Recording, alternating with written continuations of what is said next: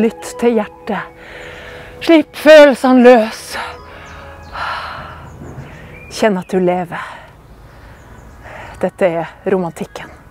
Og romantikken den begynner på slutten av 1700-tallet og varer et godt stykke ut på 1800-tallet. Litteraturen oppstår jo aldri i et tomrom. Den er et produkt av tiden den oppstår i. Så hvorfor ble forfatterne på slutten av 1700-tallet så emosjonelle? Du husker sikkert at slutten av 1600-tallet og 1700-tallet ble kalt opplysningstida. Det var fornuft, regler og kunnskap som gjorde verden til et bedre sted på 1700-tallet. Men 1700-tallet ble avslutta med den franske revolusjonen, som bygde på mange av de verdiene. Men revolusjonen kom ut av kontroll og utvikla seg til et blodbad. Og like etterpå det kom napoleonskrigene, som herja over hele Europa i årevis.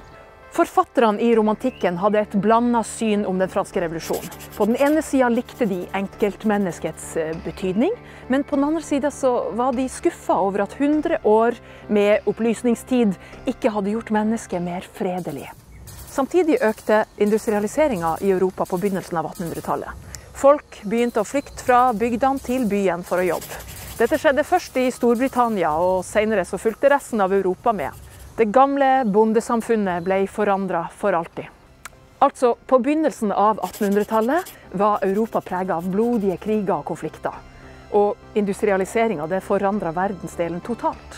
Romantikken henger sammen med dette. Troen på fornuft og logikk og orden hadde fått seg en knekk etter den franske revolusjonen.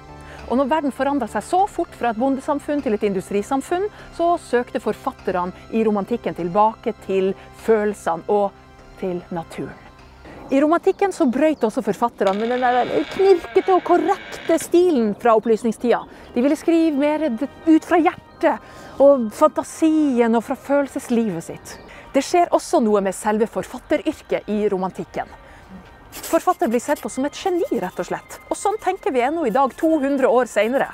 Fra å hente inspirasjon fra noe høyere enn deg sjøl, så er det nå musikeren, filmskaperen, billedkunstneren som henter det ut fra seg sjøl.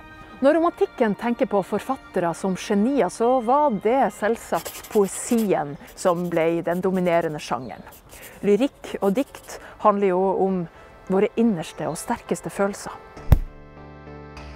I Norge er to av de mest kjente dikterne Camilla Collett, kvinneforkjemper og forfatter, og hennes bror Henrik Wergeland. Henrik Wergeland skrev 'Til foråret, til våren', som handla om hvor høyt han elsker blomster og fugler, høyere enn livet sjøl. Og etter dette dør han. Men Camilla Collett, Henrik Wergeland og erkefienden til Henrik Wergeland befinner seg i et trekantdrama. Camilla Collett var selvfølgelig ulykkelig forelska i Johan Sebastian Welhaven.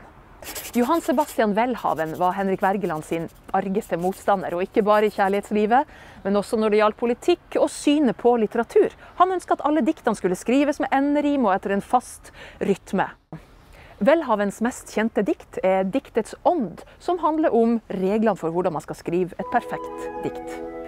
I Norge ble nasjonalromantikken den mest kjente formen for romantisk litteratur. Og det var en bølge som skylte over hele Europa. Og vi fikk ekstra drahjelp av 1814, når vi fikk vår egen grunnlov. Og en ekstra god grunn til å dikte om det vakre landet vårt.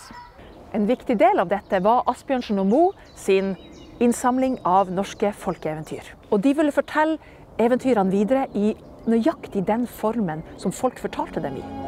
Og superhelten fra de norske folkeeventyrene er jo Espen Askeladden. Folkeeventyrene har satt varige spor i det norske språket. Du har sikkert hørt om 'Kjerringa mot strømmen', 'Syvende far i huset' og 'God dag, mann, økseskaft'. Du må lese de eventyrene, så forstår du hva disse uttrykkene betyr. Klippe, klippe, skjære, skjære.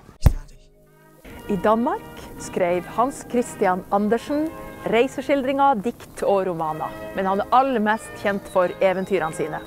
H.C. Andersens eventyr har jo blitt en del av språket i hele verden. Hvis du vil forstå overskrifter i avisene som 'Keiserens nye klær', 'Den stygge andungen', så må du lese eventyrene til H.C. Andersen på nytt. Nasjonalromantikken var jo ikke bare et norskt fenomen. Skotten Walter Scott i Skottland samla inn eh, dikt fra Skottland som var i ferd med å gå i glemmeboka. Utrydningstrua skotske dikt. Romanene The Waverley Novels er en eh, beretning som handler om feiden i middelalderen mellom England og Skottland. Walter Scotts mest kjente roman er Ivanhoe, som er blitt filmatisert en rekke ganger. Når vi snakker om romantikken og de store følelsene, så må vi innom tyskeren Johan Wolfgang Goethe. Og han skrev en kjent roman som heter 'Unge Werthers lidelser' i 1777. Den regnes som innledninga til romantikken. Werther forelsker seg i Lotte, som selvfølgelig er forlova med en annen. Og det går jo selvfølgelig ikke bra. Romanen fikk en eventyrlig suksess, og folk ble så inspirert at de begynte å kle seg på samme måte som unge Werther. I blå jakke og bukse og gul vest. Men romanen ble etter hvert forbudt, for folk trodde at de ble så inspirert av denne ulykkelige kjærlighetsfortellinga som ender med at unge Werther tar sitt eget liv. Men at det skulle være smittsomt, er selvfølgelig en myte. Mens forfatterne i romantikken skrev om de store følelsene, så forandra verden på 1800-tallet seg totalt rundt dem. Det var på tide med en endring. Og snipp, snapp, snute, så var romantikken ute.